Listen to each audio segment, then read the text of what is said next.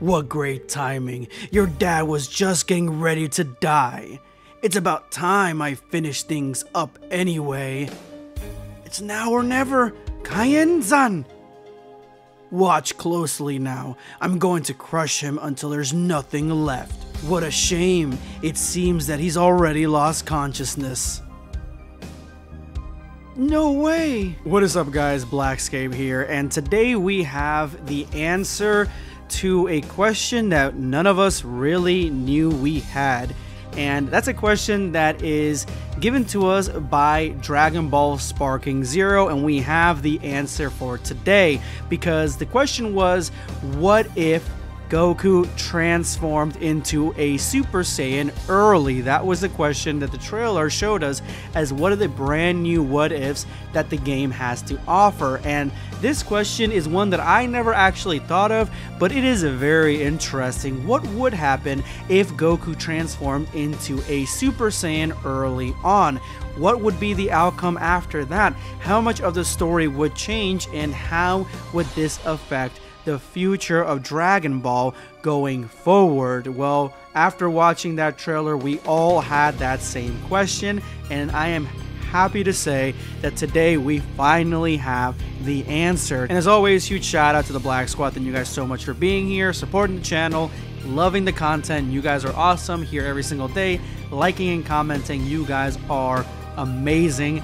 Let's go ahead and jump in. First and foremost, the beginning of this video, I showed you guys exactly the moment that this sort of transformation would have happened because this is where the what if hints at the situation being made, and that is with Krillin's death to Vegeta's hands. Did you think I wouldn't realize there was another one of you here?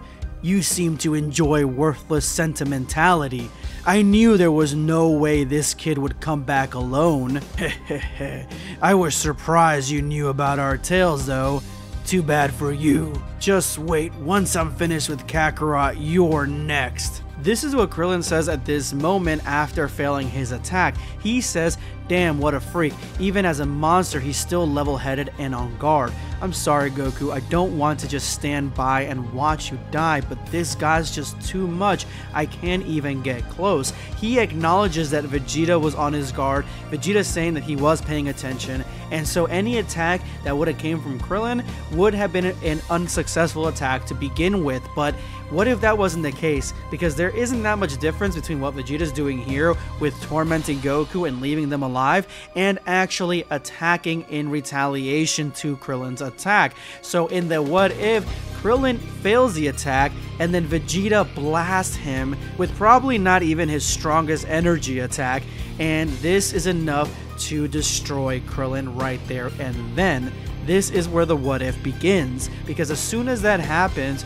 Goku realizes that his friend is gone again, and then he has the same moment he had against Frieza on Namek. The exact same thing, the exact same Saiyan transformation, transforming into a Super Saiyan right before our eyes. Now, the only difference between this and the what if that we got in Sparking Zero is that in the what if we got from Sparking Zero, he is not being held by Vegeta, and I couldn't find the exact scenario in the manga where he wouldn't be being held by Vegeta and Krillin would die because Krillin's death would definitely come at this moment after attacking Vegeta who is on guard and watching. So this is what happens after that. When Goku transforms into a Super Saiyan, he actually singes and damages Vegeta's hands. Both his hands are damaged. I'm not saying they're broken or anything like that. I'm just saying that they are burned. They are burned from the Super Saiyan transformation and the power that is emitted with that transformation that there's no way Ozaru Vegeta would be ready for. Once Goku transforms after the death of Krillin, this quickly becomes Dragon Ball Superhero with Gohan versus Cell Max. It becomes the exact same thing. Goku too strong and powerful to really let up his punches on Ozaru Vegeta, and Vegeta still at this point being way too damaged to even be able to handle even the minimum effort from Goku, he would be rocked just like Cell Max was against Beast Gohan, and this would cause either A, for Vegeta to be knocked out in his Ozaru form and be left there like Ozaru, or probably the more the more obvious take and the probably the more realistic take is that Goku after beating on Vegeta for a little bit, he cuts his tail himself knowing that that is the way to stop the transformation, leaving Vegeta way worse than he was at the end of this arc. Vegeta in this state is literally left like he was after getting hit with the Spirit Bomb. Remember, after he turns back into Vegeta, after Yajirobe's slice, he fights Gohan and Krillin for a little bit longer before getting hit by the Spirit Bomb. So I think he'd be far worse damaged than he was even after the Spirit Bomb. So more than likely he would be immobilized and crawling back to his ship. And honestly, I don't see Goku ending Vegeta here.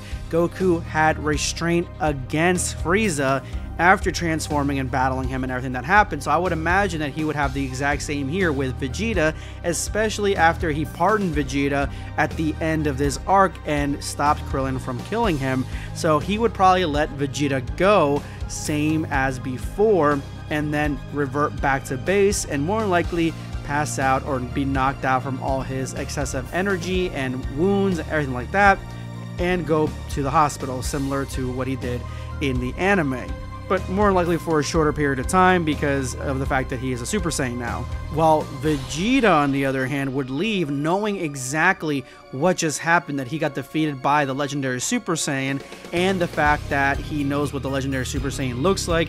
He knows how to become a legendary Super Saiyan and he just has way more information going into the Namek arc than he did beforehand. So, more than likely, Vegeta would go and try to find out how to transform into a Super Saiyan and have the exact same thing happen to him.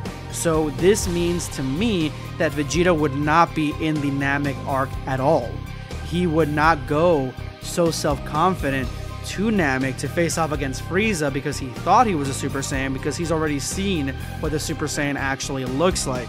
So he knows that's that he's not it he knows that there is still that transformation to gain. So more than likely he would go training similar to what he did after Namek and in between that and the Android Saga to try to become a Super Saiyan on his own. Once Goku lands on planet Namek with Gohan and Krillin, because I don't see them leaving him behind. I see that Goku is going to recover a lot faster after becoming a Super Saiyan than he did originally in the Saiyan arc he would go with both of them. He would make short work of whatever Frieza Force Warrior comes against him. He would make short work of the Ginyu Force, Frieza, who has heard about a Saiyan who's glowing yellow that is on the planet and has taken out the Ginyu Force.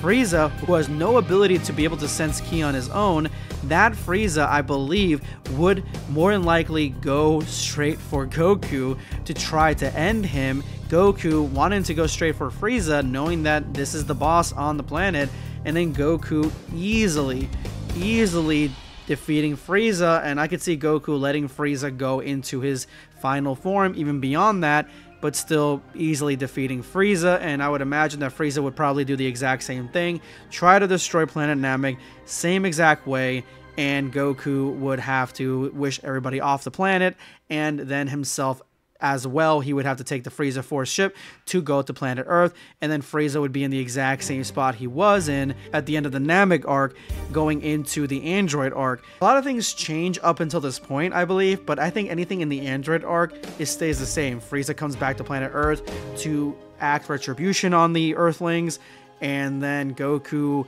shows up in like the original timeline and defeats Frieza. So those things still remain the same. The only difference is that Vegeta, we don't know if he returns to Earth, looks out, looks for Goku at all, or even transforms into a Super Saiyan on his own. I feel like he would still be out in the universe, still training on his own. So, with that being said, without him meeting Bulma on Namek and living with Bulma on Earth, there is no Trunks to come back in time to warn anybody about the androids. So, we literally would get the original timeline from the Trunks saga, but without Trunks because Goku would still die to the heart virus and everybody would still die to the androids.